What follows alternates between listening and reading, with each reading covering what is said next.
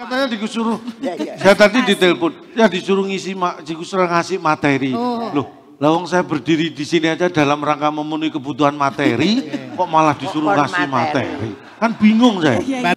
menjadi hakim MK itu ngurusi yang pemilu ini.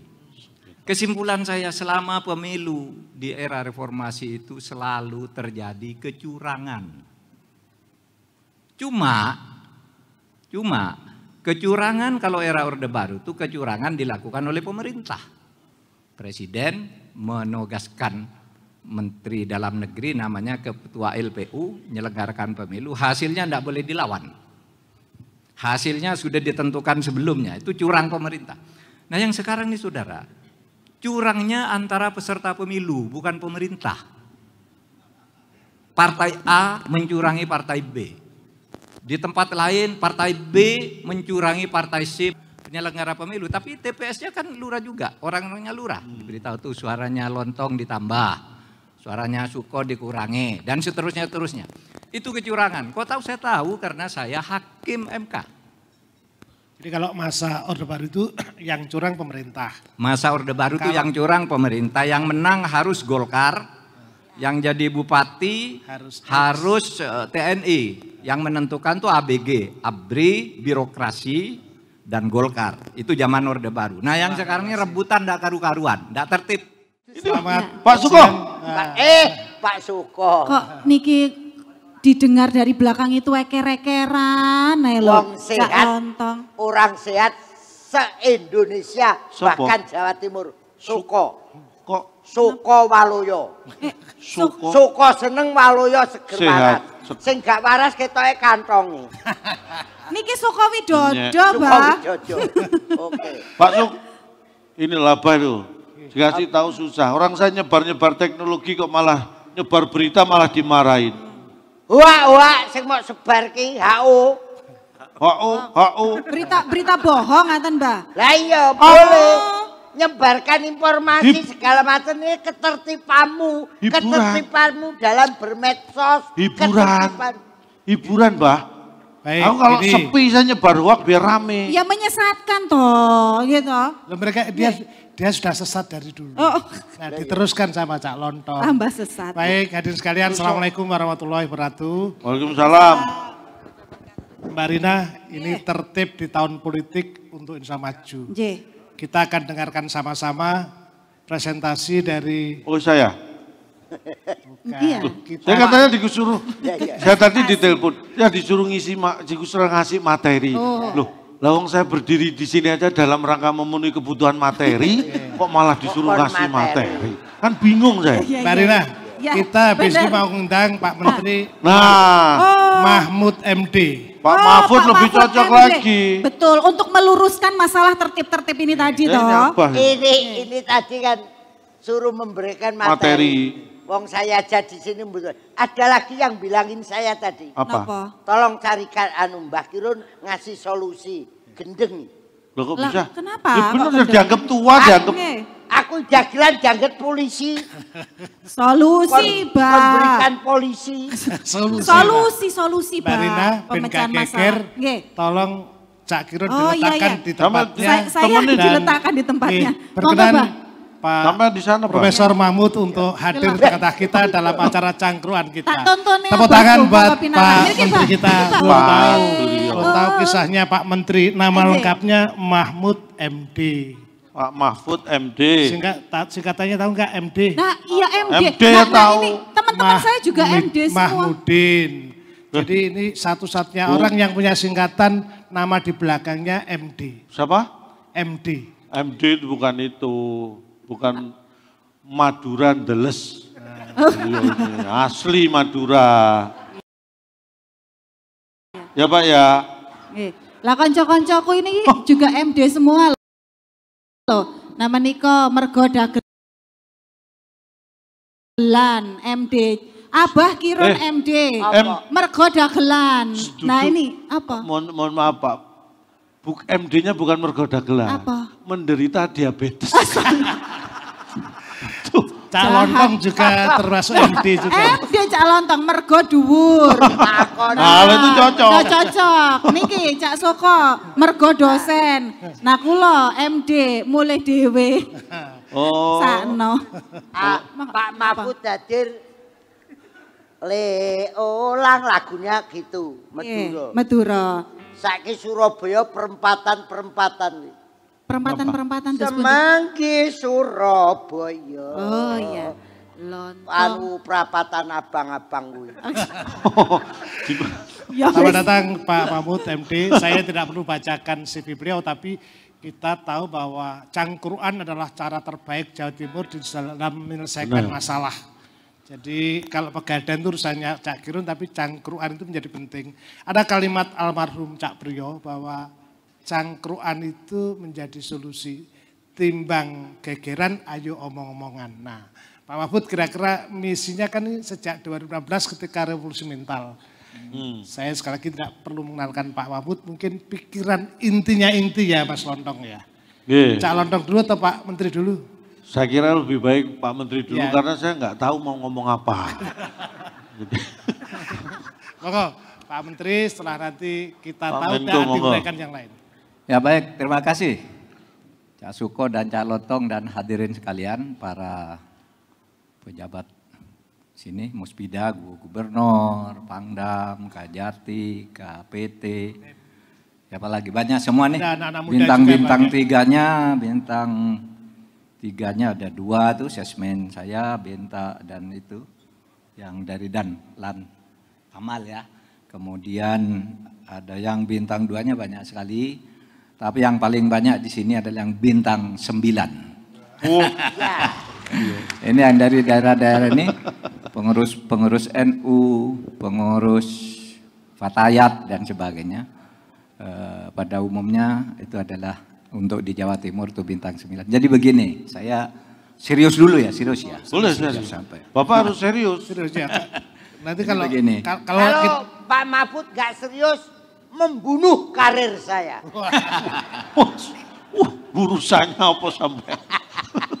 Jadi begini, saudara, acara cangkruan ini eh, diadakan dalam rangka pemilu tahun 2024, tetapi pemilu itu harus dibekali dengan revolusi mental agar pemilu itu berjalan baik.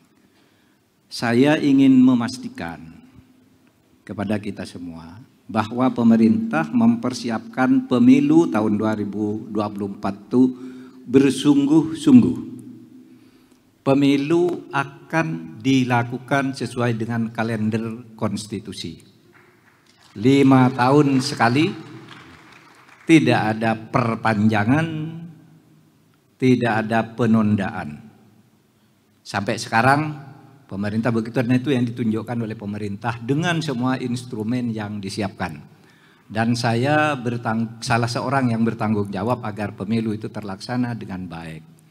Tapi untuk pemilu terlaksana dengan baik, mari kita kembali bahwa dulu ketika Pak Jokowi baru menjadi presiden itu, bahkan akan menjadi presiden, yang ditawarkan untuk memperbaiki Indonesia itu adalah revolusi mental.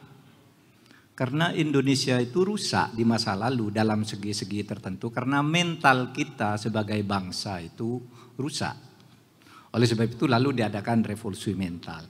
Apa tuh revolusi mental itu adalah cara pandang. Cara kita memandang, menganalisis, memahami dan menentukan langkah. Nih, Indonesia mau ke sana. Dan cara kerja. Untuk melangkah ke sana tuh kerjanya apa saja? Tahapan-tahapannya apa saja? Mengorganisasikannya bagaimana? Itu cara pandang, cara kerja, dan cara hidup. Nah, cara hidup itu artinya apa? Hidup kita nih untuk apa dan harus bagaimana? Nah, biasanya dasar dari revolusi mental itu ada lagi yang menyertai tiga hal. Satu, integritas.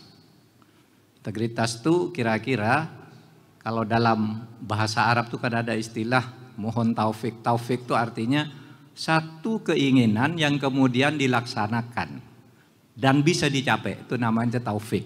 Oleh sebab itu kadang-kala orang berdoa wabillahi taufik. Ya Allah berilah kasih taufik. Taufik itu ada kemauan, jelas mau apa dan bisa mengambil keinginan itu dengan baik. Integritas itu artinya kejujuran. Kita ngomong dan kita laksanakan dengan baik. Satu, itu satu akhlak itu. Yang kedua, etos kerja. Ya, integritas, etos kerja, gotong royong. Ini pilar-pilar dari revolusi mental itu. Pertama, saudara harus punya integritas, kejujuran, kesungguhan untuk melaksanakan secara baik. Kemudian etos kerja. Etos kerja itu ya apa? nilai-nilai dan semangat yang mendasari kerja itu untuk apa? Kerja itu kalau di dalam agama dan kehidupan bangsa Indonesia itu kerja itu ibadah. Bahwa bekerja itu ibadah. Untuk keperluan sekarang dan untuk keperluan yang akan datang. Kalau di apa tuh? Kalau dalam dalam agama itu kan sering ada apa? dulu meskipun ini dipersoalkan nanti ada Profesor Profesor A'la ini mantan rektor YAIN. Itu ada dalil begini, tapi ada mempersoalkan ini hadis apa bukan. Tapi kira-kira itu etos kerja artinya. Ikmal li dunyaka ka'annaka ta'isu abadan wa amal li akhiratika ta'amnaka ka'annaka tamutu gadan. Bekerja kamu untuk keperluan duniamu, bekerjalah kamu untuk keperluan Indonesiamu dan dirimu seakan-akan engkau akan hidup selamanya. Jadi bekerja itu sungguh-sungguh ngumpul kekayaan tidak apa-apa. Seakan-akan kita akan hidup oleh sebab itu kekayaan itu harus ditumpuk. Tapi ingat, wa li akhiratika kanaka tamu tugadan. Tapi juga bekerja yang benar loh. Jangan nipu-nipu, jangan korupsi, jangan manipulasi yang tidak sehat. Karena apa? engkau harus melihat seakan-akan engkau akan mati besok. Kalau engkau mati besok, tidak ada gunanya harta yang banyak diproyeksikan untuk hidup selamanya itu. Nah, kira-kira kita bekerja seperti itu, bahwa kita kerja itu untuk keperluan kita sebagai bekal untuk ibadah kepada Allah yang kemudian di dalam implementasinya harus gotong royong. Gotong royong itu saling bersat apa? Saling menolong dengan semangat kebersatuan, bersatu untuk Indonesia. Saudara, penting bersatu untuk Indonesia karena sekarang ini kebersatuan kita itu di sana sini masih sering terancam. Terutama oleh hoax, oleh hoax ya. Oh. Itu yang terjadi tiga hari lalu di Papua itu kan hoax saja itu. Ada orang lewat bawa mobil terus ada anak kecil di pinggir jalan. Dikira anak kesasar mau diajak ditolong. Nana ayo gabung ke sini. Kamu mau ke mana mau diantar? Anak itu lari Lari sudah itu tahu-tahu datang orang sekampung mengepung orang ini, orang dua yang mau menolong ini. Karena ada hoax di situ bahwa ada pengaco datang dari luar ada perampok, terjadilah kerusuhan di situ. 10 orang meninggal, 12 orang meninggal. Karena hoax. Dan itu kalau di Papua mungkin itu disengaja saja. Ada yang yang ada yang merimut dari jauh tuh, siarkan aja tuh ada penyusup dari luar. Gitu. Lalu kerusuhan itu tidak ada hubungannya dengan separatisme yang terakhir ini. Ya hoax murni, hoax gitu. Nah oleh sebab itu jaga, jangan jangan main-main dengan hoax. Nah itu gangguan. Tapi juga sedikit sedikit banyak gangguan ideologis. Ada yang masih mempersoalkan NKRI ini apa benar apa tidak. Udahlah itu sudah selesai. NKRI dengan ideologinya itu sudah selesai. Mari kita bersama gotong royong ke depan bahwa negaranya milik kita, kita maju bersama, kita kerjakan bersama secara gotong royong.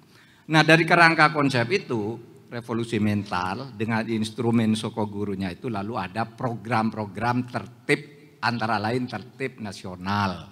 Nah kita kali ini mau mengadakan dialog nih khusus salah satu segi kecil atau dari lima aspek yang direncanakan di dalam rangka program revolusi mental itu ada tertib nasional. Ya. Yang kita diskusikan hari ini karena kita ini banyak yang tidak tertib juga di dalam di dalam hidup. Pemilu tidak tertib. Tertib itu sebenarnya betul kalau dalam agama itu istiqomah sebenarnya. Istiqomah itu ya berlaku lurus, berlaku benar menurut urut-urutannya, menurut caranya. Kalau misalnya sujud itu baca subhanallah minimal tiga kali ya tiga kali. Harus tertib tuh berhenti dulu agar mapan gitu, itu tertib namanya. Maka dalam agama itu syarat sahnya sholat misalnya atau ibadah mahdoh itu at-tartib, at-tartib itu tertib. Nah kita gunakan juga dalam kehidupan kita bernegara. Kalau kita tidak tertib nih kita kacau balau. Apalagi pemilu nanti. Pemilu yang saya katakan pasti akan dilaksanakan itu rawan, rawan dengan kecurangan. Saya ikut di dalam berbagai instrumen pemilu. Pertama, di dalam era reformasi. Pertama tahun 99 saya menjadi ketua Panwas Daerah Istimewa Yogyakarta, Panwaslu Daerah Istimewa Yogyakarta. Ketika itu ya ketuanya ketua pengadilan tinggi, wakilnya akademisi saya masuk tapi ketua pengadilan tingginya Pak Yusuf waktu sakit lalu saya yang memimpin. Kemudian saya menjadi peserta pemilu ketika bersama Bu Khofifah ini menjadi pengurus partai. PKB waktu itu Pak. PKB bersama kerja ini kalau menjadi peserta begini. Kemudian saya menjadi hakim MK itu ngurusi yang pemilu ini. Kesimpulan saya selama pemilu di era reformasi itu selalu terjadi kecurangan. Cuma, cuma kecurangan kalau era Orde Baru itu kecurangan dilakukan oleh pemerintah. Presiden menugaskan Menteri Dalam Negeri namanya Ketua LPU menyelenggarakan pemilu, hasilnya tidak boleh dilawan. Hasilnya sudah ditentukan sebelumnya, itu curang pemerintah. Nah yang sekarang ini saudara, curangnya antara peserta pemilu, bukan pemerintah. Partai A mencurangi partai B. Di tempat lain partai B mencurangi partai C membayar lurahnya. Dan lurah itu Lurah itu bukan penyelenggara pemilu, tapi TPS-nya kan lurah juga, orang-orangnya lurah. Diberitahu tuh suaranya lontong ditambah, suaranya suko dikurangi, dan seterusnya terusnya. Itu kecurangan. Kok tahu saya tahu karena saya hakim MK. Jadi kalau masa Orde Baru itu yang curang pemerintah. Masa Orde Baru itu yang curang pemerintah, yang menang harus Golkar, yang jadi bupati harus, harus eh, TNI, yang menentukan tuh ABG, ABRI, birokrasi, dan Golkar. Itu zaman Orde Baru. Nah yang sekarang ini rebutan tidak karu-karuan, tidak tertib. Nah itu. Nah itu yang harus kita tertibkan ke depan karena reformasi ini sudah bagus hasilnya. Bagusnya apa? Bagusnya, bagusnya. Ya sekarang kita bisa memilih orang sendiri. Mencalonkan hmm. orang sekarang boleh. Dulu Pak Ibu, dulu mencalonkan presiden itu lalu dicap gila lah diumumkan ke mana-mana gila. Pada tahun eh, berapa itu? Kartowibowo itu, Sawito Kartowibowo mengatakan, saya mau calon presiden, Pak Harto ini tidak baik. Lalu ditangkap dia masuk penjara, itu orang gila katanya. Kemudian ada Ferar Fathiyah di tahun 90-an, perempuan. Ya. Ayo dong, saya mau jadi presiden nih. Coba sekali-kali kasih perempuan itu orde baru itu jelek. Dia juga ditangkap. Gila. Gila katanya. Padahal orangnya enggak gila sampai sekarang masih ada. Marzuki Darusman begitu cumerlang waktu itu di DPR. Dia enggak bilang apa-apa, tetapi masyarakat mendukung itu cocok jadi presiden. Disingkirkan padahal dia enggak apa-apa. Nah sekarang saudara mau mencalonkan sendiri boleh, mencalonkan cak lontong boleh. Wah ini persoalan kalau itu. Iya boleh, pokoknya boleh. Enggak ada yang nangkap. Itu satu kemajuan. Tetapi harus tertib. Agar negara menjadi lebih baik. Itu aja dah kalau pengantar dari acara itu. Sebelumnya, sebelum